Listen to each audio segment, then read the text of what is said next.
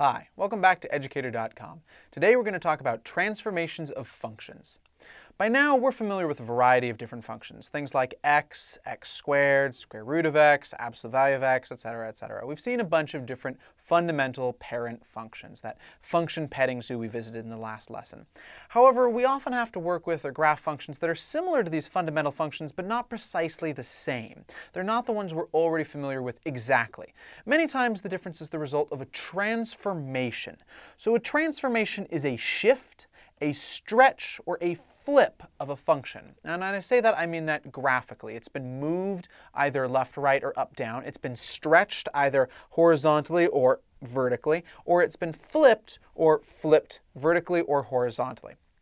Understanding transformations is useful for working with functions or building our own functions if we want to build one from scratch.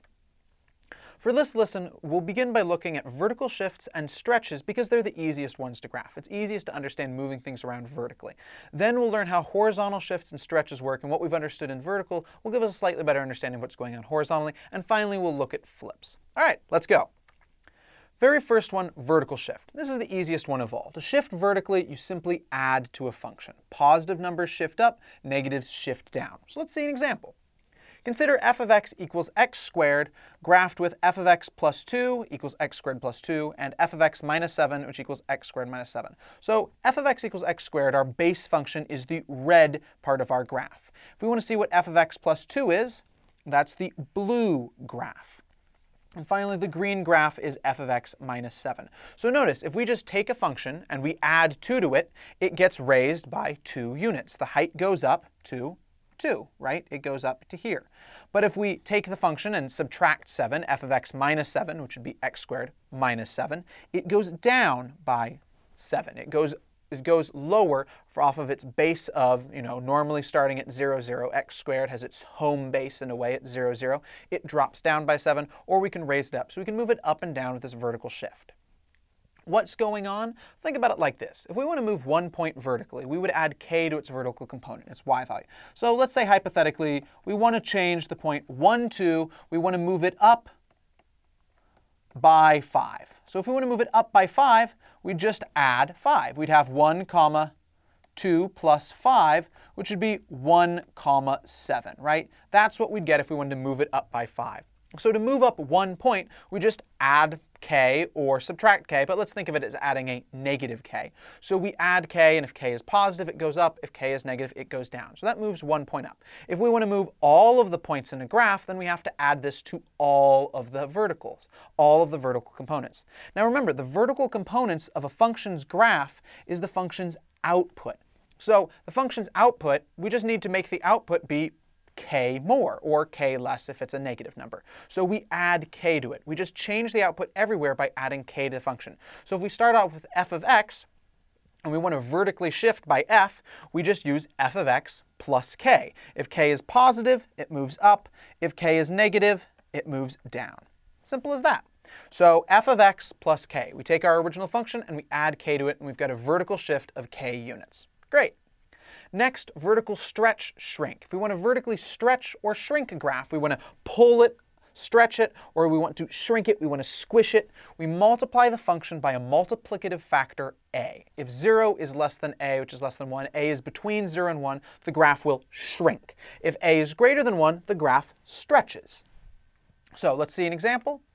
Consider f of x equals x squared, so that's the one in red. That's our basic function that we're starting with to have a sense of how things are going to go. And then we compare that to 3 times f of x. It's been has a multiplicative factor of 3 hitting it. So in this case, whoops, so in this case, we've got the graph stretching because it's 3 times f of x, so a is greater than 1. And indeed, this one right here has been stretched up. We have the parabola normally, but we instead sort of grab it and pull it up higher. So if we look at this, every point here is 3 higher. Here is one, two, three higher to get up to there.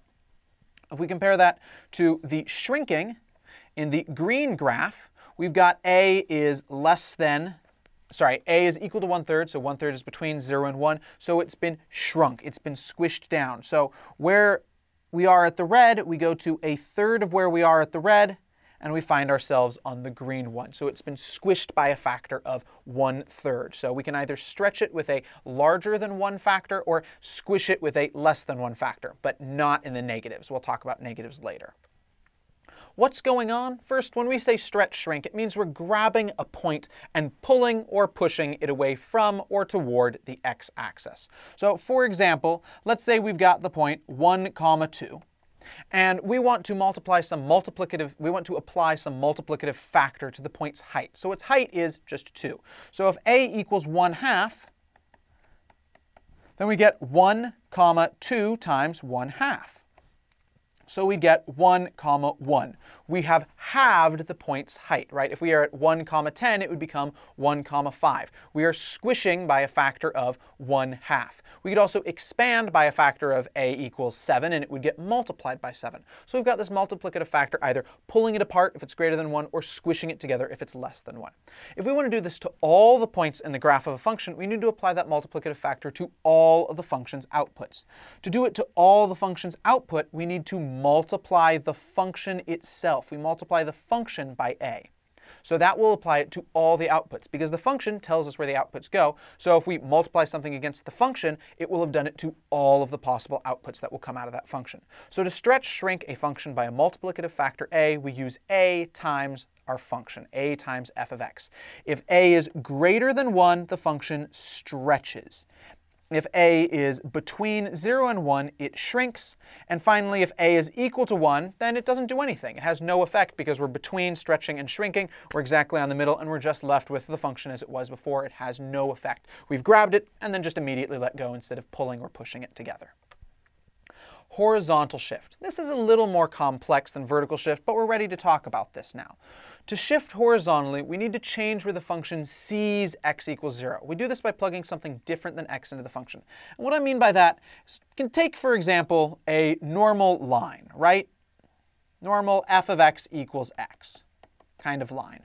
Well, if we want, we could say that in a way, its home base is this zero point, right? Where it crosses that axis. It's where it sees zero in the x-axis. But we could also talk about another graph where it's the same line but shifted over to the right. what's happened there is we've taken this home base and we've shifted it over by some amount, right? We've shifted it over by the same by some amount. So we have the same picture, but it's been moved to the right. We are seeing the home base, the effective x equals 0 in a different place. That's the idea we want to bring to this. Consider f of x equals x squared. So once again, we see that in red graphed with f of x minus 4 equals x minus 4 squared. That one is in blue. It's been shifted 4 units to the right. And f of x plus 2, that one is in green. x plus 2 squared, it's been shifted 2 units to the left. Now, that might seem counterintuitive at first, right? Minus 4 causes us to shift to the right, but plus 2 causes us to shift to the left. So to understand what's going on, we need to think about this a little more deeply. What's going on? Think about it like this. The graph of a function is a way to look at how the function sees the x-axis, right? A graph is where an input gets placed as an output. That's at least one way to interpret a graph, and it's how we're doing it for functions. So if we are looking at a graph, it's how it sees the entire x-axis, at least all the x-axis in our viewing window at once. That x-axis is mapped to some sort of curve. It takes in each x value in the x-axis and it outputs a y value. A graph shows us how the function is seeing all of the x-axis at the same time. Now, normally we plug in just x, right? So the x-axis looks like your normal number line. 0 in the middle, 1, 2, 3 out, negative 1, 2, 3 out in the other direction. So 1, 2, 3, negative 1, 2, 3. It's exactly what we're used to. It's your normal number line. But we can move this number line around. We can move this home base. So currently our home base of 0, think about it as a home base for now. 0 is in the middle when we plug in just x. How do we move around that home base? we move it around like this. So normally, once again, our normal plane x, normal number line, we can move it around by plugging in x plus k. For example, if k equals negative 2, then our normal home base now, it's k, it's x minus 2, so it's 0 minus 2, and we get negative 2. 1 minus 2, and we get negative 1. 2 minus 2, and we get 0. And hey, look, our home base has shifted 2 units to the right, right? We've gone over one, two clicks over to the right. And everything has been moved by this amount, right? We've got the minus 2 on everything, and so that's how we're getting all of these new points. But we've got what we've got by doing this is we've shifted, you've effectively shifted over the location of home base. We've effectively shifted over the location of x equals 0 by subtracting 2 from everything. Since everything is now 2 lower, we had to go where we originally had 2 to now just have 0, to be back in our usual home base. So I want to say this once again. Graph shifts to the right with a negative. So if we plug in a negative for k, this x plus k here, if we plug in a negative, we get shifting to the right because we're taking that much away from all the numbers. And so if we're taking them away, it has to be the high numbers, the traditionally right side numbers, that are now going to have our new home base in them. So shifting to the right, horizontal shifts to the right, happen with a negative value for k. What if we wanted to shift to the left? Well, we could plug in a different x plus k. So different x plus k, if we plug in k equals 3, then if we've got plus 3, we now have 3 for our old 0. We have to go to negative 3 for us to get our home base back, right? So it's now 1, 2, 3 over to the left for us to get from our old home base to our new home base, right? And everything's going to get hit by this plus 3, which is why we've got 6 over here and all these sorts of things. So by adding a positive number, it is the lower numbers, the negative numbers, that are now going to wind up taking the place of having the home base be on that side. So the home base will move to the left if we have a positive k. So if we want to shift to the left, we use positive for k, and that x plus k. Great. Therefore, we can shift around where the function sees x equals 0, this idea of seeing x equals 0, seeing our home base, and the rest of the x-axis in turn, is by plugging in x plus k instead of just plugging in x. By shifting around the perceived x-axis, by shifting around this perceived home base, the graph will move horizontally. Will move to the left, move to the right. Now notice this doesn't actually change the x-axis. It just changes the way the function sees it. The x-axis is still going to look totally normal to us. It'll be that normal x-axis that we're used to, but the way the function will interact with it is now based off of this new home base because of us plugging in that x plus k.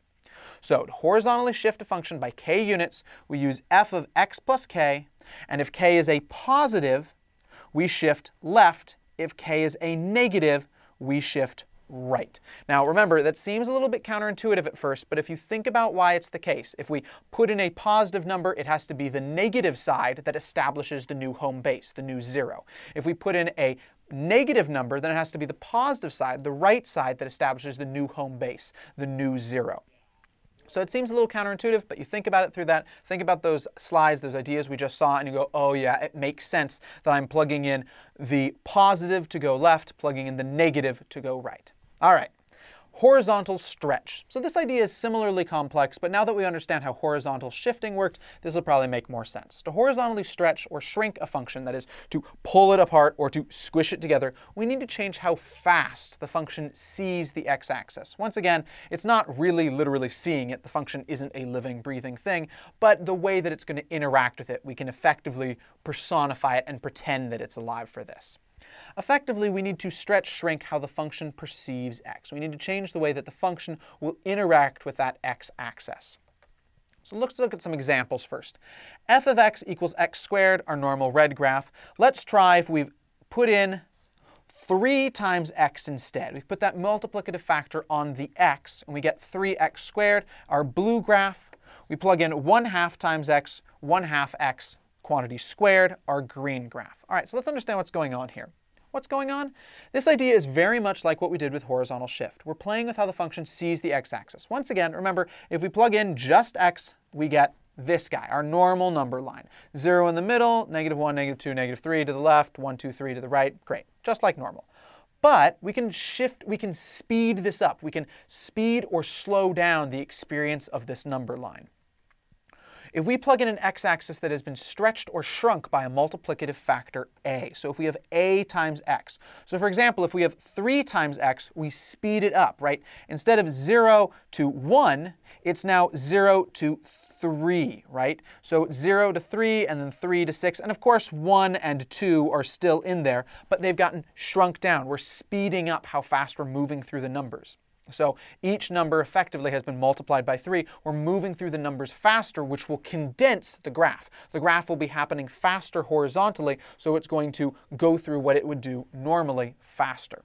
We can also expand it by slowing it down with a small a. If we put in a small a, like 1 half times x, we go from 0 to 1, and now we're 0 to 1 half. We have to take two steps forward before we even manage to make it to 1, so now we're going at a speed that is half the speed originally. We are slowed down by a factor of 2. Okay.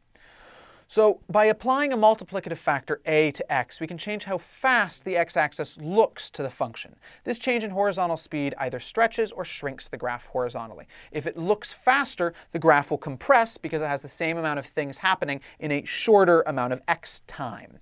If it is stretched, then it's going to wind up, if we slow it down, it will be stretched because it takes more x time to be able to get through the same information. And like before, this doesn't actually change the x-axis that we see, it's just how the function will interact with the x-axis.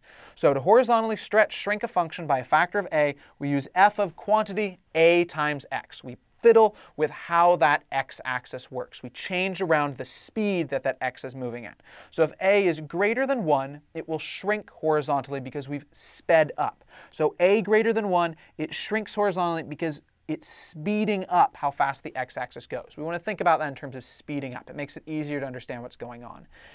So if we speed it up by putting in a large a, a greater than 1, we're going to shrink horizontally because more stuff will happen in the same period of time. 0 less than a less than 1, we are going to stretch horizontally. It will slow down the x-axis because we now have to go through a longer interval, a longer amount of x time for us to be able to get the same information through. So a greater than 1 shrinks horizontally. Sorry, a greater than 1 shrinks horizontally. It speeds up. If a is between 0 and 1, it stretches horizontally. It slows down. All right. Vertical flip, which we might also call mirroring vertically or a vertical mirror. To vertically flip a graph around the x-axis, we simply multiply the function by negative 1. It's as simple as that. We just multiply the function. So if we have f of x equals x squared in good old red, then we can flip it vertically by just multiplying by a negative 1. So negative f of x, which is negative x squared, and it flips to pointing in the opposite direction. What's going on here? Well, if we wanted to flip a single point around the x-axis, say we've got 1 comma 2 again, if we wanted to flip it around the x-axis to the opposite height, then we would just multiply the vertical component, the y value, by negative 1, right? So vertical times negative 1 would become 1 comma 2 times negative 1 or 1 comma negative 2. We have flipped that point to the opposite vertical location, the opposite height. This sends it to the opposite side, but it still has the same height in terms of distance from the x-axis. It's now a negative height, or if it started off negative, it'll be now be positive. For example, we could have, say, 3 comma negative 7, and that would flip to 3 comma positive 7, right? So we're flipping from one side to the other side. If we want to do this to all the points in the graph of a function, we need to apply it to the entire function, right? The vertical components are the outputs of the function, so we need to make the function output the negative version everywhere. We do this by just multiplying the whole function by negative 1. So to flip a function vertically around the x-axis, that is, if we've got, you know, smiley face here, then it will become reversed smiley face here. It is flipped vertically. Does to flip a function vertically around the x-axis, we use negative f of x. Great. To horizontally flip a graph around the y-axis, we change how the function sees the x-axis to its opposite. We need to flip its perception of the x-axis. Just like we changed perception of the x-axis with horizontal shift and horizontal stretch, we're going to do that for horizontal flip. We do this by plugging in negative x. Let's see an example. Consider f of x equals square root of x. So if we've got root x, then that's the red graph. We couldn't use x squared because its horizontal flip will just look like the exact same thing. And we'll graph that with f of negative x. So we plug in negative x and we'll get negative root x, which winds up pointing in the exact opposite direction. Why is it pointing in the exact opposite direction? Well, if we try to plug in a positive number, like say positive 6, square root of negative 6, if we plug in x equals 6, it's going to get us square root of negative 6, which does not exist, right? Does not exist. So it doesn't exist on the right side, just like square root of x, normal square root of positive x, doesn't exist on the left side. So our blue graph has to go in the opposite direction because it sees negative 6 as being the same height as the red one sees positive 6. All right. What's going on here? How is this working? We're reversing how the function sees the x-axis. So normally, once again, we see x going off to the right and to the left, just like usual. But if we plug in negative x, it reverses. So let's put some color here so we can see what I'm talking about. So if we have on our normal positive x version, it goes to the right in red, and it goes to the left in blue. When we plug in negative x, we see it goes to the right in blue and the left in red, right? If we hit 3 by negative 1, it becomes negative 3. Negative 3 by negative 1, it becomes positive 3. So we've flipped the order that the x-axis occurs in, right? As opposed from going negative to positive, it now goes from positive to negative. We've flipped the order that it occurs in. So to flip a point horizontally around the y-axis, we need to just multiply the horizontal component by negative 1. For example, our good old point 1 comma 2 if we want to flip horizontally, then we're just going to look at the negative version of the x-axis. So we'd go to negative 1 comma 2, right? So this will move the point to the opposite horizontal location. If we plug negative x into a function, it reverses how it sees the x-axis throughout. So we'll be plugging in opposite horizontal locations everywhere, so everything will flip to the opposite horizontal location. All the points are going to show up in the opposite horizontal location because we've plugged in this negative x. So to flip a function horizontally around the y-axis, we use f of negative x. So what does that mean? So once again, say we have some smiley face over here. So smiley face, smiley face sadly doesn't have a, you know, anything left right. He's a perfect left right thing. So let's make smiley face. It's now Ms. Smiley Face, and Ms. Smiley Face has a little bow. So if we flip her around the y-axis, we flip her horizontally, she will so show up on the other side, and her face will look the same because her face is mirror symmetric horizontally, but now her bow is going to be on the opposite side right? So she shows up on the opposite side now. She's been mirrored horizontally around the y-axis.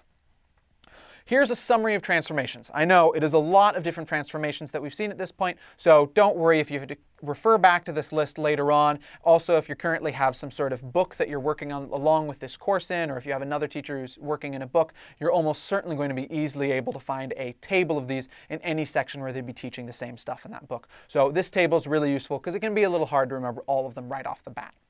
Vertical shift is f of x plus k. k is positive, causes us to go up. k is negative, causes us to go down. Vertical stretch is a times f of x. If a is between 0 and 1, it shrinks it. If a is greater than 1, it stretches it. Horizontal shift is putting in, you plug in x plus k. k is positive, we go to the left. k is negative, we go to the right. Horizontal stretch is 0 to 1 means we slow down, and slowing down means as we stretch out. a greater than 1 did I say horizontal stretch? f of a times x. I'm not quite sure I said that. a greater than 1 causes us to go faster, which means we squish together. Vertical flip, we flip over vertically. That's negative f of x. Horizontal flip, f of negative x causes us to flip horizontally. One thing to notice, all the vertical stuff happens outside function, right? Happens outside the function. If it's vertical shift, it's f of x plus k. If it's vertical stretch, it's a times f of x. If it's vertical flip, it's negative times f of x. Everything's doing it on the outside of the function. However, horizontal, horizontal stuff happens inside. Right? Horizontal shift is you plug in x plus k. x plus k goes into the function. Um, horizontal stretch is a times x goes into the function. Horizontal flip is negative x goes into the function. So horizontal things will happen inside the function, happens to what we're plugging into the function, whereas vertical stuff happens on the outside of the function. We don't have to worry about it being plugged in. Okay, that's a summary of transformations. Don't worry if you have to refer to this, but you can also probably think about this sort of stuff. Now that we've got an understanding of where this stuff is coming from, you can probably actually figure out, oh, it makes sense this, and just re-figure it out, re-derive it in your own head without even having to refer to these lists. Horizontal shift, horizontal stretch, horizontal flip, they might be a little bit more difficult, but remember that idea of we're shifting around our home base. We're shifting around the experience of the x-axis. That's what we're shifting with those. Stacking transformations. If you want to do multiple transformations on one function, you just apply one transformation after another. But order matters. So unlike when we multiply and divide and multiply, like if I multiply 5 by 3 by 7 by 8, multiply all those numbers together, it doesn't matter what order I multiply them in. But transformations, it matters the order you put the transformations on. Be careful. You want to order the order you apply your transformations can affect the result. So the order you apply will affect how it comes out. Not always, but a lot of the time. Decide on the order you want before you do it. So decide on the order. Then apply them to your base function in that order. So the order that they get, they hit that base function, the order that they do their transformations will change what happens. So there are some cases where it won't matter the order you put it on, but other times you're going to get totally different results, and we'll look at an example in just a second.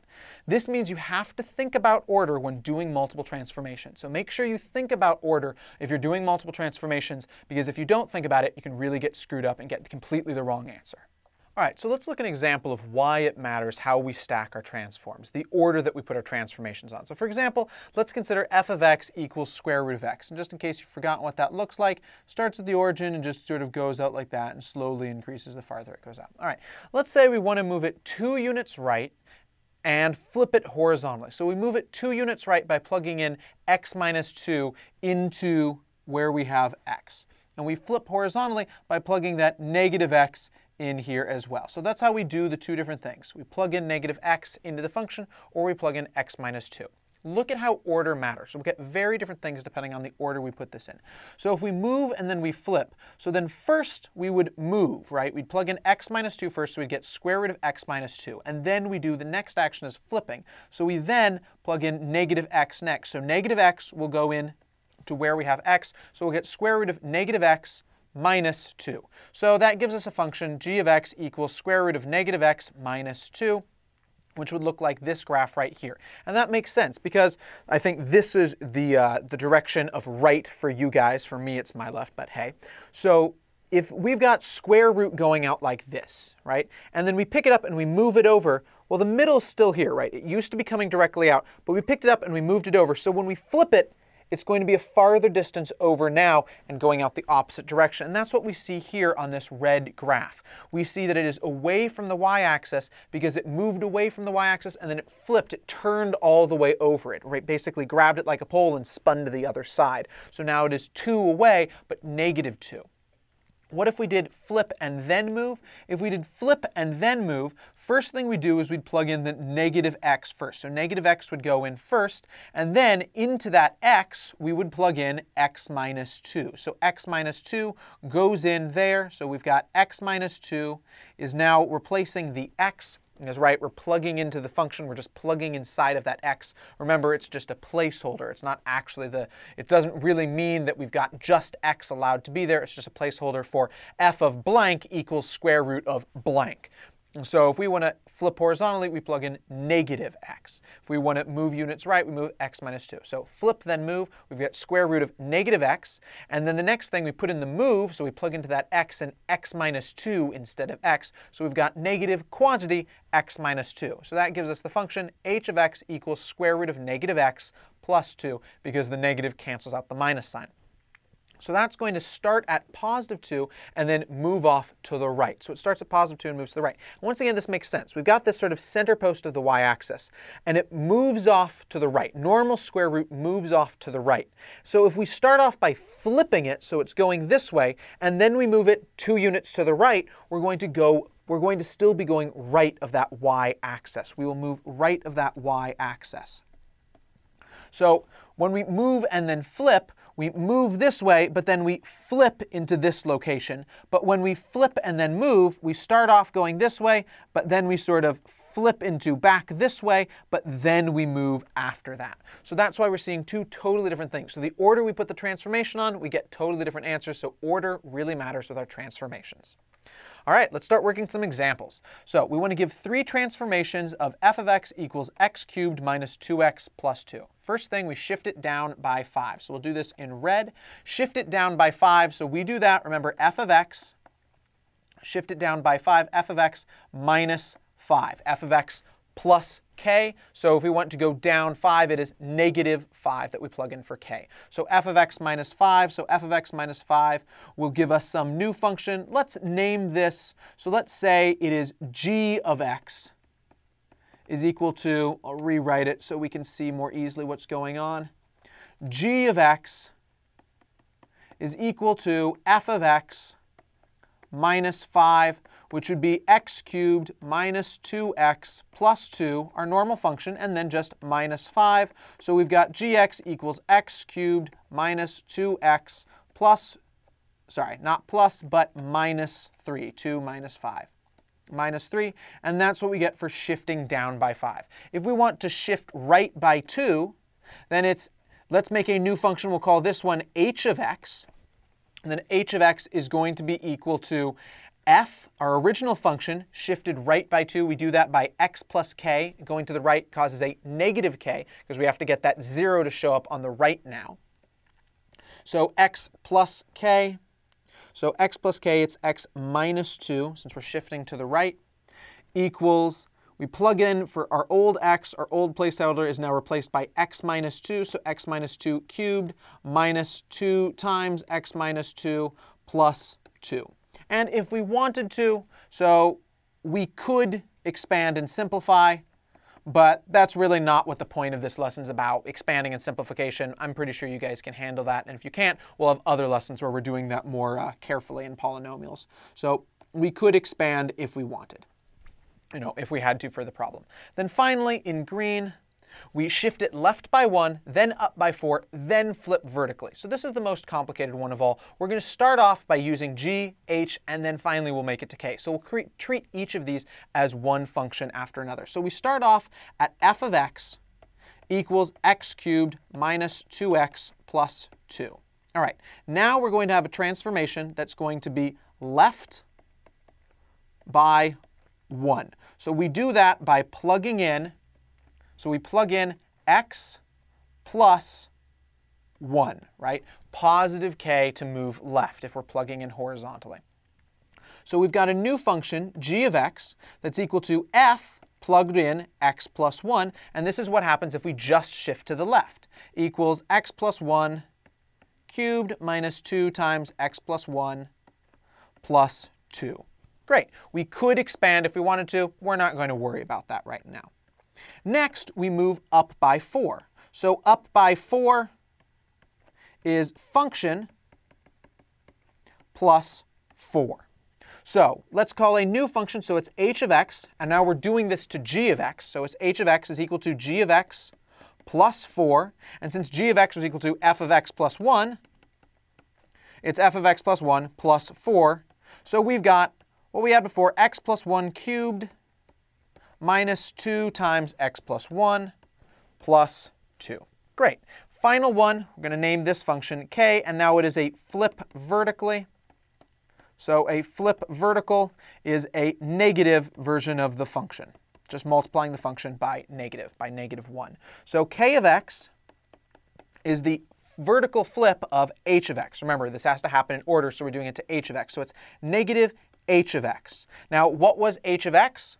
Well, h of x was, so it's negative quantity. What do we have for h of x? We had g of x plus 4. So it's negative quantity g of x plus 4.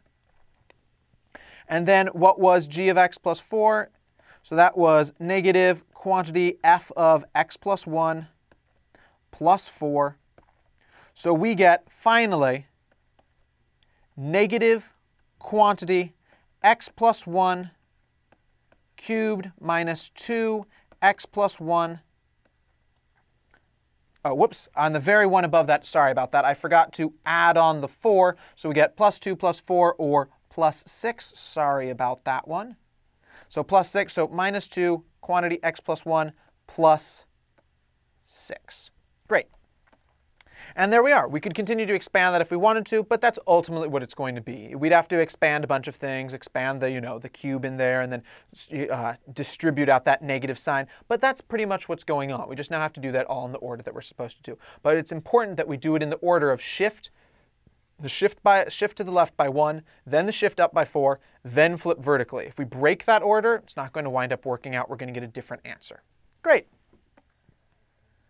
All right, next example. So we've got a parent function of cube root of x, and that's this guy on the left. Now we want to give the function for the graph on the right. So we need to figure out what things happen to the graph on the right. So the first thing it looks to me is that notice how we've got the right side is down and the left side is up. The way we do that is so it's first we've got a vertical flip. And what comes after that? The home base, in quotes, so home moves. Where was it originally? So it was originally at 0, 0. We'll make a home and say, that seems like a reasonable place to say where its home used to be. So its home used to be at 0, comma 0. And over the course of becoming the second graph, it goes to where is its home? Here's 2, 1. So it's at 2, comma 1. So the home moves 2 comma 1, which means that we've got two things coming out of this. We've got a shift right by 2 and a shift up by 1. So we can come up with a a function for this by just applying these transformations. So first we've got f of x. So let's do our first transformation. g of x equals vertical flip is negative f of x equals cube root of x. So this is our first part. But next we have the second part that comes in. So second part, we'll call this one h of x. So that'll be what our final function actually is. h of x equals We've got shifting right. Shift right happens by x minus 2. Remember, x plus k, but we put in negatives to shift to the right. Shift up is just our function plus 1. Those two we can actually put in any order. They'll never wind up interacting with each other since the plus 1 happens completely outside of the function, outside of everything. So negative f of x. So we've got here h of x is equal to g plugging in x minus 2 and also shifting it up by 1. And now it, g of x is equal to negative f of x. So since g of x is equal to negative f of x, we have negative f of x. gx becomes f of x. So this here is just the same thing as negative f of x. So it's going to be negative f of x is cube root of x. So, oh, whoops, should be a negative sign there. So g of x minus 2 is negative f of x minus 2 plus 1 equal to negative cube root negative cube root of x minus 2 plus 1. So the function that we're seeing over here is h of x equals negative cube root of x minus 2 plus 1. Great. We want to, for this example, we want to give the parent function f and what transformations were applied and the order they were applied in to create g. So g of x equals 7 minus x cubed for the first one. So the first one, we'll do it in red. So what is the parent function that makes this up? Well, parent function for g of x in red is going to be f of x equals x cubed, right? We see that x cubed there, so it seems reasonable that that's going to be it. So what had to happen to be able to get 7 minus x cubed? Well, the first thing that had to happen is a vertical flip and then a vertical shift up. We could also have a vertical shift down and then a vertical flip of everything, but it's easier to see it as vertical flip. So vertical flip. And then the second thing is shift up by 7. And that's why we get negative x cubed from the vertical flip, and then shift up 7 will be negative x cubed plus 7, so we get 7 minus x cubed, and that's how we get our red g of x. Now our blue g of x. 10 square root x plus 5. So this f of x, it'll start from the basic function of square root x. That's our fundamental function. So what's happened in here? Let's say the first thing, it seems like it's easier to move horizontally than to have to do a vertical stretch first. It actually won't matter what order we do it in, but we're, let's say we'll do it in first order of shift. So we've got x plus 5 in there, so x plus 5, x plus k means it's a positive, so shift by 5 left. Would say horizontal shift and it goes to the left because it's a positive k. And then the second thing we do is we multiply the entire function by 10, so it is a vertical stretch by a equals 10. And we actually could do that in the complete completely opposite order. We could do vertical stretch by a equals 10 and we get 10 root x, and then plug in x plus 5 and we get 10 times square root of x plus 5. So 1 or 2, it doesn't actually matter which one goes first. Unlike the red function, which actually it did matter that we had a vertical flip and then shift up by 7. We'd have to do a slightly different thing if we wanted to do it in a different order for the red function. But the blue function, anything. Finally, the green function, its basic parent function, what's creating it, its base function, is absolute value of x. Now for this one, this is a little bit hard to see which one this has to be. It's much easier to start off by shifting to the right by 3 because we see right here this 2x. So 2x means that how the x-axis is being affected has been sped up. But if we speed up and then move by a different thing, well, we're used to moving. All of our theory about moving is based off of move first. Our, our, uh, our theory of moving, how we experience the x-axis, was all done on it starting as x and not starting as 2x or 5x or 1 half x. It was all based on x plus k, not 2x plus k.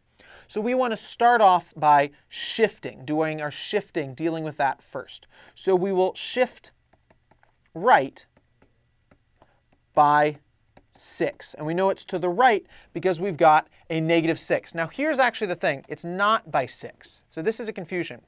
It seems to be 6 at first because that plus k, but notice what's really there? 2x minus 6, once again, we have things in the form x plus k. 2x minus 6 is not in the form x plus k. It's got 2x. It's not just 1x. So we have to get it to 1x first. So we pull out the 2, and we get 2 times quantity x minus 3. So the shift to the right is actually by this 3 here. So we shift right by 3 because we've got k at negative 3. And then our second one is a horizontal speed up by a equals 2, which is to say it will squish to half of its original horizontal length. Any horizontal interval will squish to half. And then finally, we've got this plus 1 here, so it shifts up by 1. Now it actually turns out that the 3 could be at the top, or it could be at the bottom. It doesn't matter. Shifting up by one, that could happen at the very beginning, could happen at the very end.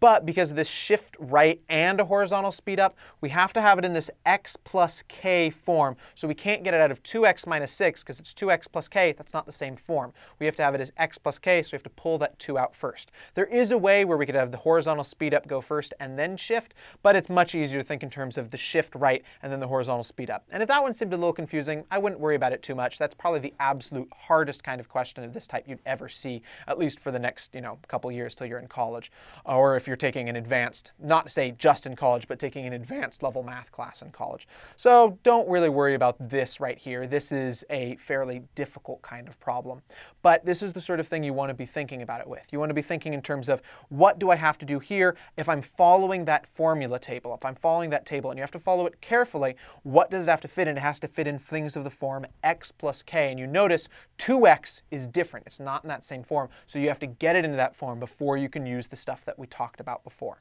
All right, final example. How is vertically stretching the graph of f of x equals x squared the same as horizontally stretching it? So remember, a vertical stretch, so vertical stretch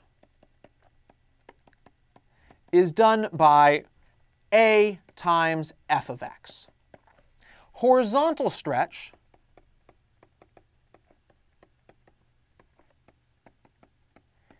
is done by f of a times x. Now, I think it's a little bit confusing to use a in two places, so instead we're going to call this b. So we'll say, you know, we're just using b to prevent confusion.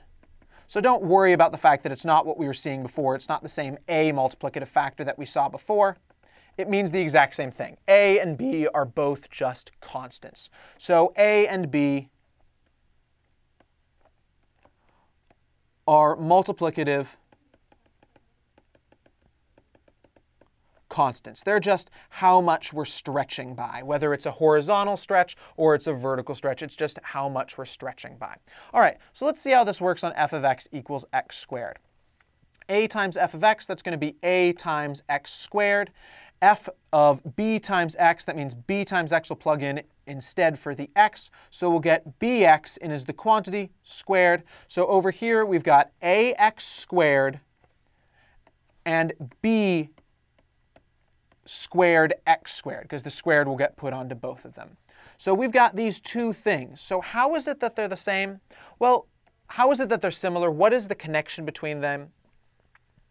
Well, think about this. A is just a constant, and b is just a constant. So a and b are both constants.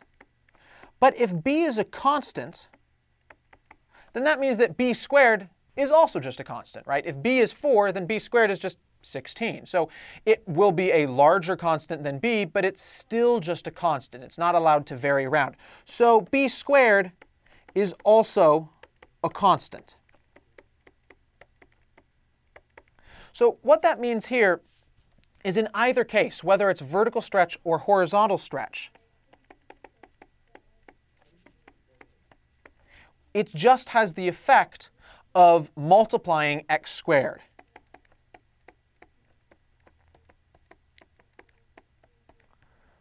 Of multiplying x squared by a constant.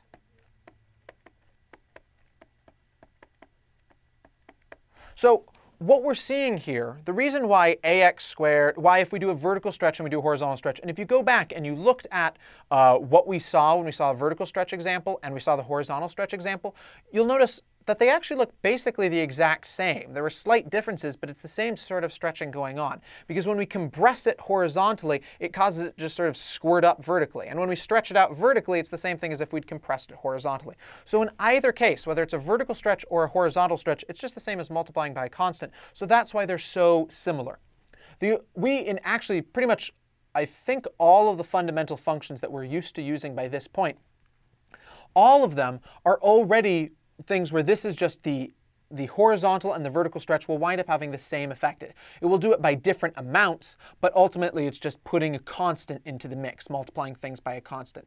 The first time that you'll wind up seeing things, and right now, if you've even taken trigonometry, right now the only thing you'd see where you'd be able to see the difference between a horizontal and a vertical stretch is trigonometric functions. If you look at sine and cosine, it actually is possible to horizontally stretch those and vertically stretch those, and you'll get totally different looking things out of a vertical stretch versus a horizontal stretch. Now, it's okay that we haven't really talked about trigonometric functions yet, and you haven't seen them yet probably. Don't worry about that, that's okay. And if you have seen trigonometric functions and you've taken some trigonometry, that's all the better, so you probably are already exposed to this. But just know that later on you will see cases where there is a difference between horizontal stretch and vertical stretch. But for some other functions, like f of x equals x squared, it winds up being that there's not really a difference at all. All right, hope you now have a good understanding of all the different transformations that are available to us. I know there's a lot of them, but if you think through what you're doing with each one, you can probably figure it out without even having to resort to the table. And these are really useful because they let us build a bunch of different functions and understand how to graph functions that seem complex at first, but are really just some basic function we're used to graphing that's been stretched and squished and moved around. All right, we'll see you at educator.com later. Bye.